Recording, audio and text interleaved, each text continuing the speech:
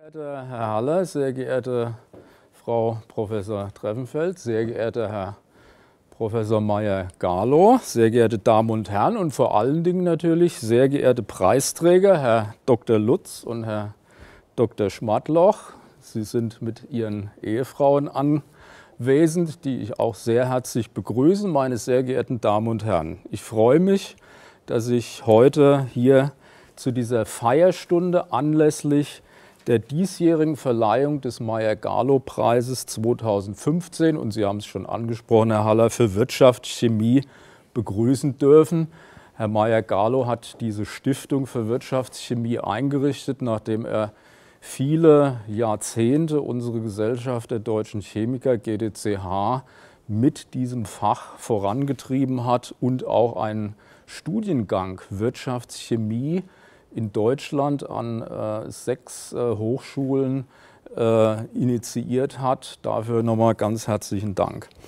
Ja, besonders ist natürlich hervorzuheben die Einrichtung äh, der Stiftung für Wirtschaftschemie und durch die jährliche Preisvergabe dieses äh, Meyer-Garlow-Preises soll nicht nur eine Innovation, sondern insbesondere deren Nachhaltigkeit gewürdigt werden. Die Gesellschaft Deutscher Chemiker vergibt sonst sehr viele wissenschaftliche Preise, rein wissenschaftliche Preise. Das sind 25 Stück, viele Stiftungen dabei. Und äh, dieser Preis, der heute verliehen wird, ist der einzige, bei dem der Transfer aus der Wissenschaft in die Industrie und in die Gesellschaft äh, im Zentrum stehen. Ja, Innovation, Nachhaltigkeit und der besondere Wert äh, für die Gesellschaft, das sind die Botschaften und damit freuen wir uns auch, dass durch die Teilnahme einer, ich sage mal, etwas breiteren Öffentlichkeit auch äh, die Botschaft der Chemie, und das liegt mir besonders am Herzen, in die Gesellschaft äh, herausgetragen wird.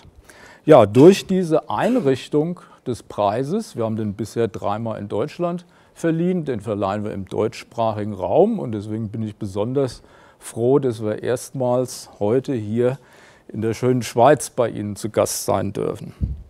Ja, meine Damen und Herren, mit dem Innovations- und Nachhaltigkeitspreis wollen wir natürlich äh, dem besonderen, äh, der besonderen Bedeutung des Themas Nachhaltigkeit Rechnung tragen diesen Begriff, Sie haben schon COP21, die UN-Klimakonferenz, angesprochen, ist ja in dieser Woche wirklich im Zentrum der Medienberichterstattung, auch wenn der Begriff, wir kennen ihn seit vielen Jahren, zurückgeht, 300 Jahre erstmals im Bereich der Forstwirtschaft eingeführt und äh, von Karl von Karlowitz und die Gesellschaft Deutscher Chemiker hat vor etwa 25 Jahren sehr früh den Begriff der Nachhaltigkeit auch in ihre Satzung und in den Verhaltenskodex aufgenommen. Und Herr Meyer-Garlow hatte mich gebeten, ein paar Worte zum Thema Ethik, zum Thema Verhaltenskodex, zum Thema Verantwortung heute äh, zu Ihnen zu adressieren. Und deswegen zitiere ich, weil nicht alle sind hier glaube ich, Mitglieder der Gesellschaft Deutscher Chemiker, äh, gerne diese, äh, diesen Verhaltenskodex. Die GDCH und ihre Mitglieder unterstützen und fördern eine nachhaltige und dauerhafte Entwicklung in Gesellschaft, Wirtschaft und Umwelt. Sie handeln stets auch im Bewusstsein ihrer Verantwortung gegenüber künftigen Generationen. Ich glaube, besser kann man es nicht formulieren. Die Nachhaltigkeit muss äh, immer uns hier äh, sehr am Herzen liegen und äh, äh als Naturwissenschaftler allgemein und als Chemiker speziell, glaube ich, tragen wir eine besondere Verantwortung äh, dafür, was wir entwickeln und was wir, sage ich mal, mit diesen Produkten dann auch äh, in Anwendungen, aber auch manchmal in nicht geplanten Anwendungen äh, äh, als Konsequenzen sehen. Ja, in diesem April hatte ich die Möglichkeit, bei einer sehr äh, bewegenden Gedenkveranstaltung in Ypern teilzunehmen in Belgien, nämlich äh, organisiert von der OVCW, das ist die Organisation für das Verbot der Chemiewaffen. Und dort in Ypern war ja die erste Anwendung eines, äh, einer chemischen Massenvernichtungswaffe, die die größten Forscher, die wir heute auch weiterhin als die größten Forscher des letzten Jahrhunderts betrachten, zum Beispiel Fritz Haber mit seinen Verdiensten um die Ammoniaksynthese. Und trotzdem hat er hier äh, diese, sage ich mal, Verantwortung auf sich genommen und hat äh, diesen Einsatz erstmals von Chlorgas äh, verantwortet. Der stand natürlich gegen die damaligen sogenannten Hager Konventionen und die OVCW hat jetzt in Anlehnung an äh, den Eid des Hippokrates in der Medizin äh, die Gesellschaft Deutscher Chemiker, die amerikanische Gesellschaft, die ACS, die Europäische Gesellschaft, EUCHEMS und viele weitere Chemiegesellschaften der Welt gebeten, einen entsprechenden Eid für die Chemiker zu entwickeln. Und dieser Eid wird gerade von allen Organisationen diskutiert und äh, soll eben sicherstellen, den verantwortungsvollen Umgang äh, aller Chemiker mit äh, den Produkten, die entwickelt werden. Ja, wir sind immer sehr froh, wenn wir erfolgreiche Produkte, so wie das heutige, was wir auszeichnen werden, im täglichen Leben durch die Chemie äh, ähm, ermöglichen und wollen gleichzeitig aber die äh, Verantwortung für die Umwelt, für die Nachhaltigkeit fördern. Und Sie haben es angesprochen, äh, genauso wie Sie in Ihrem Unternehmen die Nachhaltigkeitsziele für 2025 haben, hat ja die UNO die entsprechenden Entwicklungsziele langfristig vereinbart. Und für uns Chemikerinnen und Chemiker müssen wir eben sicherstellen, dass solche Produkte äh, nur friedlichen Zwecken zur, äh, für friedliche Zwecke zur Anwendung kommen.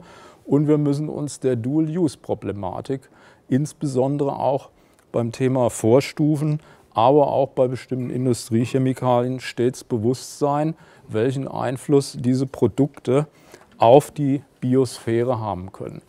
Diese höchsten ethischen Standards müssen aber nicht nur in der Industrie, sondern auch in der Forschung, in der täglichen Arbeit berücksichtigt werden.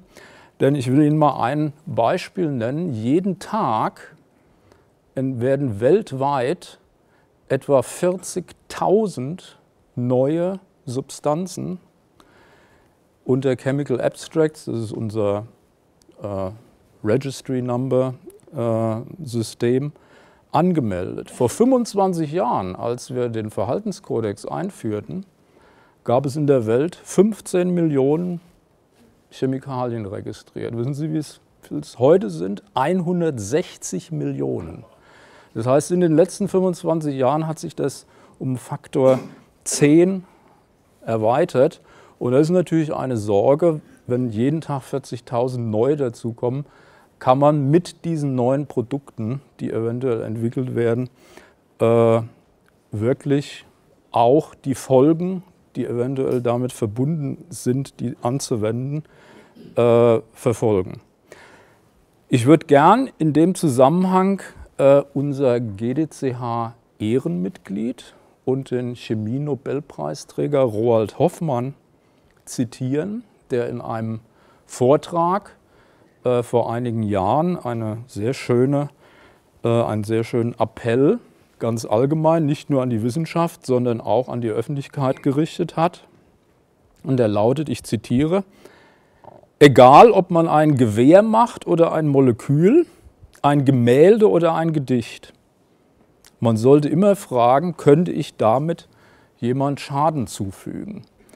Er ist jemand, der nicht nur die Chemie kennt, er ist sehr engagiert, Roald Hoffmann, auch im Umfeld von äh, Kultur, hat ein Schauspiel vor kurzem in Frankfurt und Darmstadt aufgeführt zu seiner Vergangenheit. Meine Damen und Herren, nun möchte ich äh, zum Meyer-Galo-Preis dieses Jahres kommen und äh, nicht Frau äh, Treffenfeld vorgreifen, aber ganz kurz die gewürdigte Innovation äh, beschreiben. Strukturklebstoffe, wem sage ich das, sind seit Jahren im Fahrzeugbau weit verbreitet und die Zukunft der Automobilindustrie, das wissen wir ja nun alle, liegt im Leichtbau. Wir haben ja dieses wunderschöne Fahrzeug hier unten gerade äh, bewundern können. Der Einsatz der unterschiedlichsten Leichtbaumaterialien, egal ob es jetzt Leichtmetallkomponenten, äh, Kunststoffe oder auch äh, Hightech-Carbonfasern sind, stellt natürlich besondere Anforderungen an die Fügetechnologie und speziell an das Verkleben. Denn die Verbundwerkstoffe nun zusammenzufügen, ist nur mit neuartigen Klebern möglich. Das Dow-Team hat nun mit seinen neuartigen Klebern für die Verbundwerkstoffe und durch seine ganzheitliche Betrachtung dieser technologischen Herausforderungen mit den Partnern aus der Automobilindustrie sich als Treiber, als Innovationstreiber für den Leichtbau verdient gemacht und damit zunächst einmal äh, natürlich für die Nachhaltigkeit im Sinne der Elektromobilität, aber auch generell für äh, den Automobilbau sich äh, verdient gemacht um die Nachhaltigkeit. Damit werden die Gesichtspunkte, die Herr Meyer-Galo in seinem Preis als besonders äh, wichtig ansieht, nämlich nicht nur die Innovation, sondern das Thema Nachhaltigkeit und der gesellschaftliche Nutzen mit dieser besonderen Innovation hervorragend erfüllt. Verehrte Preisträger, ich gratuliere Ihnen beiden ganz herzlich im Namen der Gesellschaft Deutscher Chemiker zum Meyer-Galo-Preis 2015 für Wirtschaftschemie und ich freue mich, Ihnen gleich im Anschluss die Urkunden dann überreichen zu können. Erlauben Sie mir, bevor das Wort dann von Frau Treffenfeld nämlich an weitergeleitet wird, an Herrn Meyer-Galo nochmal ein ganz herzliches Dank an ihn zu richten für die Einrichtung der Stiftung und äh, damit danke ich Ihnen für Ihre Aufmerksamkeit.